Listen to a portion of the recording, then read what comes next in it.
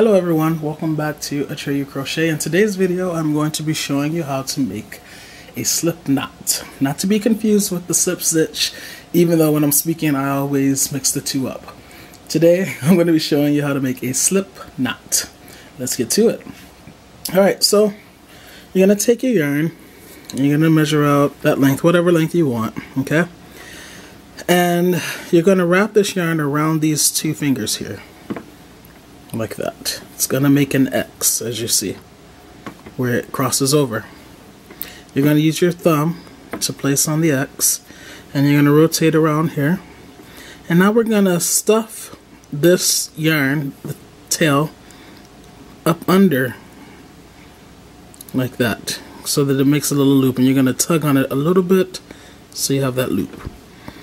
Notice the tail is still over there. You don't want to pull the loop so much that the tail comes all the way through, right? Okay, so you have the little loop.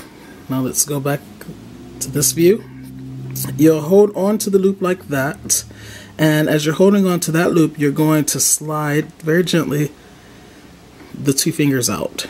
Now we have this part of the yarn, which is attached to the skein, as well as this tail.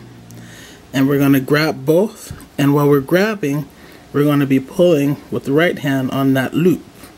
And it's going to get bigger. And that right there is how you make your slip knot. Now to adjust your slip knot, you're just going to pull on the tail.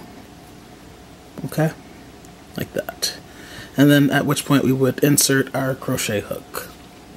Let me show you one more time. To undo this, just simply pull. Very cool, right? Alright, so we have the yarn you have these two fingers. So it's coming from the back up like that, right? Now we're going to wrap it up and over and we have an X.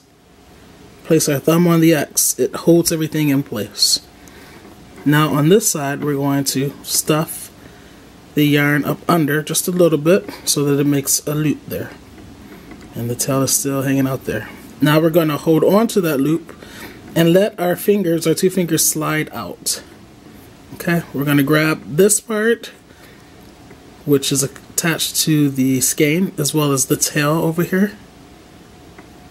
Grab them like that, hold them, and then we're going to pull with the right hand on that loop, and that creates the slip knot. And then we're going to pull on this tail to make the slip knot or sorry to make we're going to pull on the tail to make the loop smaller. The reason that we make the loop smaller is because we're going to insert a crochet hook into the loop. And to make it a little bit more snug you just continue pulling. And this is how you make a slip knot. We use slip knots to begin a lot of crochet projects okay? In fact when we get to making the chain stitches which will be the first stitch that I teach you, we're going to have to make a slip knot before we start chaining, okay? So that is how you make a slip knot. I hope this tutorial was helpful, and I'll see you in the next video.